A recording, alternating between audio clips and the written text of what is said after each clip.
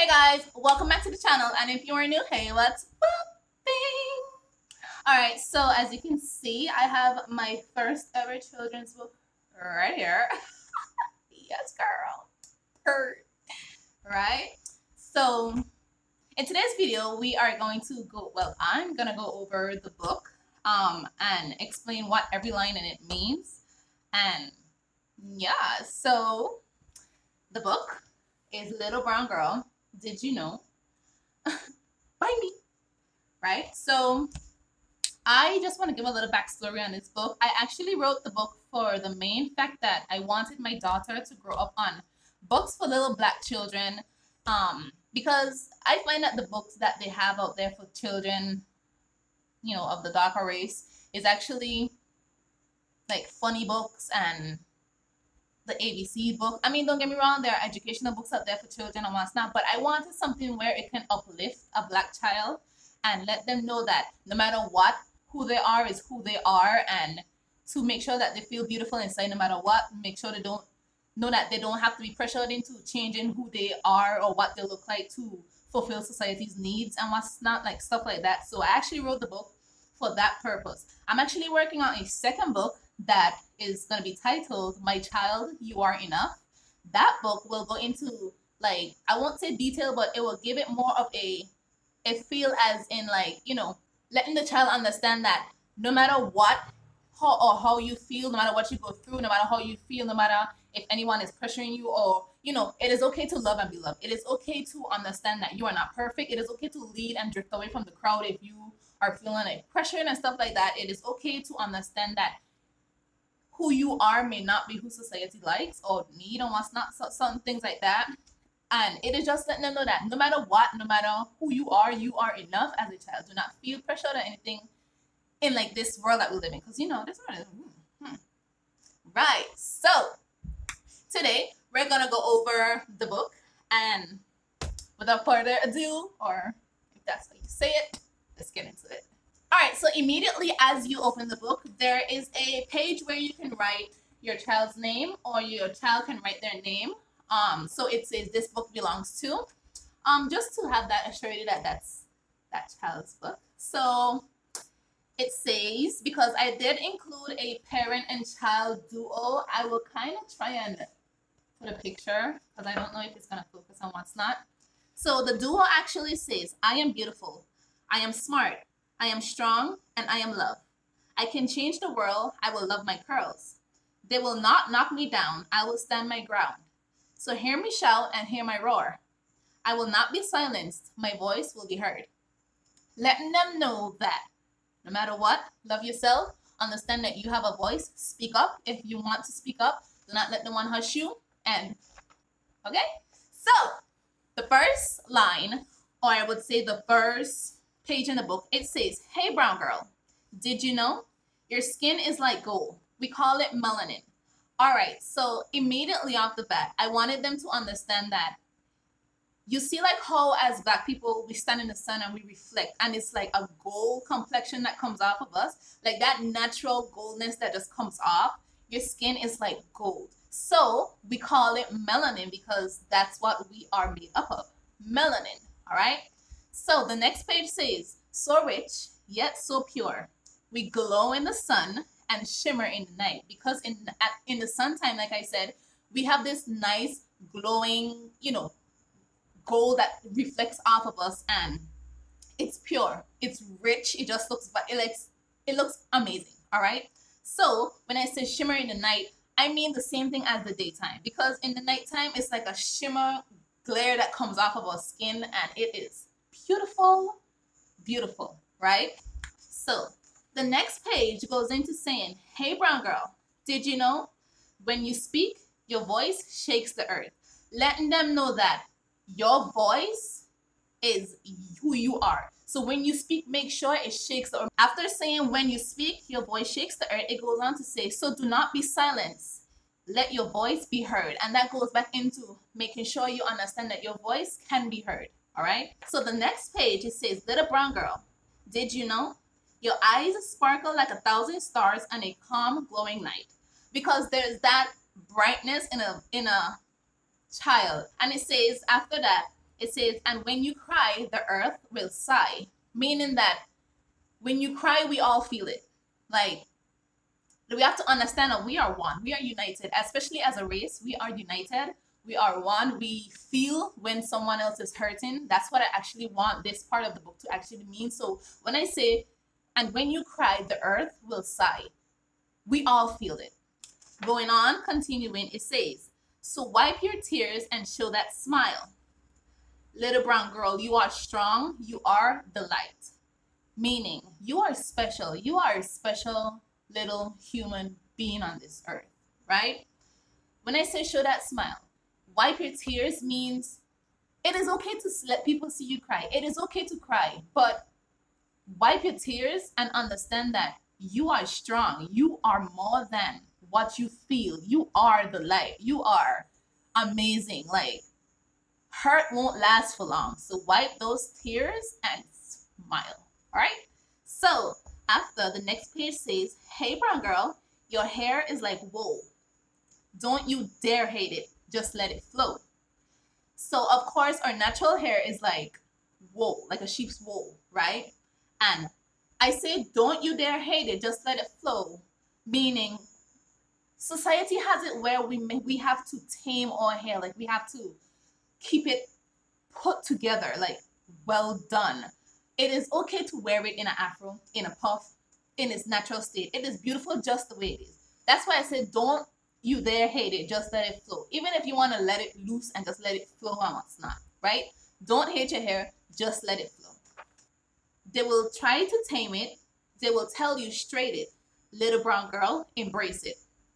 This page is one of my favorite pages for the main fact that it is so much truth behind of this. The world will tell you to tame your hair. They will make you feel like your hair is unkept. It's not put together. Like if you go into the world with the afro in, or if you go to work, they'll be like, um, why didn't you do your hair?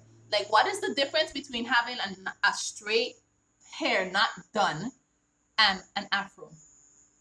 You understand? And afro, I want them to understand that an afro mimics the, the trees that we see. So it's like we are, you know, beautiful in every single way that we are. All right.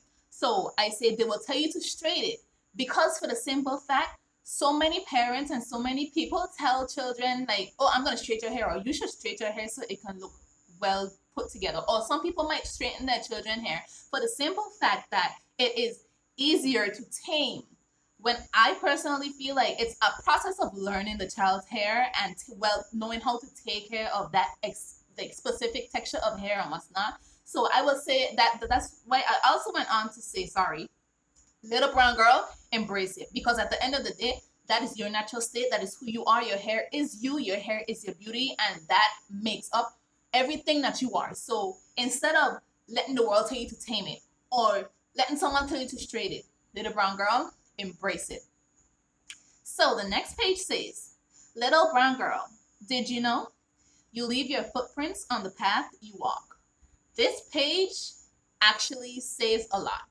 When I wrote this page, I was meaning that when you walk on this earth, you leave a footprint.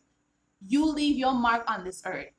You, when you walk, your feet, your prints of this, every step that you take leads up to your success, leads up to your future. So leave a mark, meaning leave a message every time you take your next step into an achievement or a, a success of something. All right. Because after this page, after I see you leave your footprint on the path you walk, one foot at a time, each step that you take, little brown girl, walk with grace. Meaning, keep your head up. Do not let them see you with your head down. It is okay to fail. It is okay to fall. Get back up and start again. Because remember, even if you have to start from the beginning, that is not a failure. That is a lesson to understand that keep going forward. Not because you had a little setback means you must just give up on whatever. Walk with grace. Hold that head up and understand who you are. Let the world see that each step, one step at a time, each step that you take, walk with grace. All right? So then the next page says, Little brown girl, did you know? We come in different shapes, and so does our hair. The world will stop and stare in amaze. It's magical, you see. no, you cannot touch my hair. So this page, this back and front page actually goes with saying, yes, we come in different shades, just not dark, just not brown, just not like the white, caramel. You know, we come in different shades. We come and I edited in a picture where it has the different shades of what we come in and what's not because we come in so many different shades. We can produce many different shades. So I want them to know that being black is not just about black or brown. It, we come in so many different shades, and so does our hair. Because what a lot of people think that black people just has black hair. No, it comes white, red, orange, brown, light brown. What is it? Um, blonde and stuff like that. So I added some Afro pictures where they're just different shades of hair and what's not. So I said the world will stop in a maze because there are so many times that I see people stop and be like, oh, can I touch your hair? That's why I added in. It's magical. You see, no, you cannot touch my hair because they have to understand your hair is who you are. Like I said in the earlier in this video, your hair is who you are. So do not let every and anyone touch your hair because your hair needs the care that only you and probably your mom or your dad or someone in your family can manage and take care of to keep it the way it is. Like, don't. I, I just want them to know that no, don't touch my hair. Just stare in a maze like you are, but do not touch my hair. The next page goes on to say, and it says, so wear your braids and show your face. Little brown girl, you finished that race. So this page actually means you can wear your braids. It doesn't, you don't always have to wear your afro or your puffs and whatnot. You can wear your braids. You can wear the extensions with the braids in and stuff like that.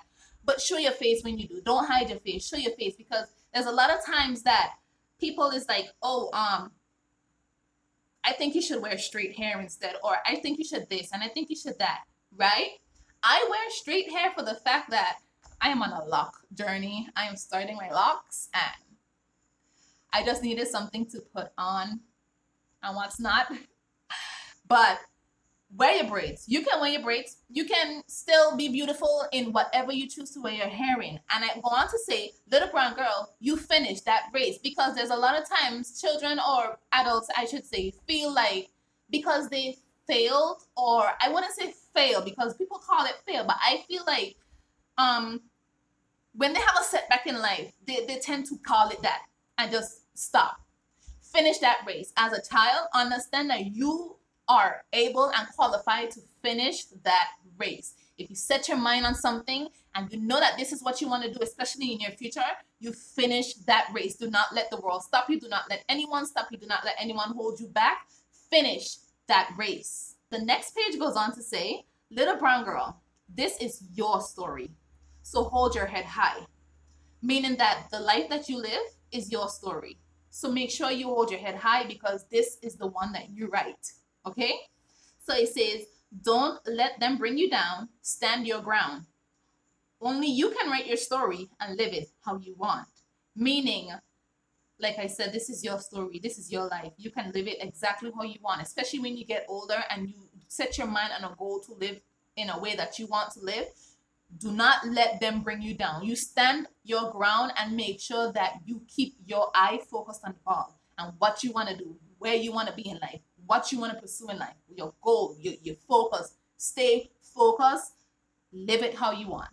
That is exactly what this page says. All right. So the next page says, Little brown girl, fix your crown. Don't let it tilt. Don't let it fall. This is another one of my favorite pages because understand that you are a goddess. You are a queen. Hold your crown high. Do not let it fall and do not let it tilt fix it. You are beautiful, you are strong, you are everything. So fix your crown, do not let it tilt, and do not let it fall. Then the next page says, Little brown girl, did you know you are royalty, a goddess on this earth? Because you are. You are a goddess. Do you see the complexion of your skin? Do you see how beautiful you are? Girl, okay. All right, so the next page goes to say, your scars will tell your tales. Little brown girl, remember to stay brave. This page is one of my favorite, favorite, favorites because every scar that you get tells a story, tells what you've been through in life. Like it's it, it, it's a message. Every scar in your body is a message. It will tell tales of the, the past that led up to this moment, right? And I said, little brown girl, remember to stay brave because there's a lot of girls who think they should be scared or away for society. Like, remember to stay brave. Hold your head up and do not, do not feel like you have to succumb to a, a situation where you should always keep your head down or feel scared or stuff. Remember to stay brave because you are royalty, a goddess on this earth. All right. So then the last page says, do not change your face. Do not change your skin because little brown girl, you are beautiful in every single way. When I say do not change your face, do not change your skin, society makes people think, especially darker skin people, think that they should change the color of the skin. We should be lighter just to be become be portrayed as beautiful. You are beautiful just the way you are. Okay. When I say don't change your face, do not change your face. Do not feel like you should get Botox or surgery or this and that because you were made to look the way you look. That is perfect enough for me. That is perfect enough for the rest. Be who you are. Do not change your face. Do not change your skin because you are beautiful in every single way, every single shape, every single form that you are. Do not let anyone make you feel like you are not good enough because you are more than enough. All right. So the end of the book and the back of the book actually says, Little brown girl, you are loved. Because I want them to understand that no matter what, no matter what the world throws at you, you are loved. You are beautiful. You are everything. We love you just the way you are. You are everything. All right. And like I said, I wrote this book for the simple fact I want my child to grow up on books where she can, it would motivate her. Um, let her know that she's worthy, that she is beautiful just the way that she is, that she is more than society would make her out to be. Every brown girl needs this book. All right. So if you are interested in purchasing this book, it is actually listed on the Amazon. Um, it is the only book on Amazon actually that is named Little Brown Girl. Did you know? But it will be the first link in the description of this video. Um, if you do purchase, I thank you for your support and have a good one. All right. So thank you guys for watching. Please like, subscribe, tell me what was your favorite part of this in the comments. Discuss that. Right. And um, yeah. So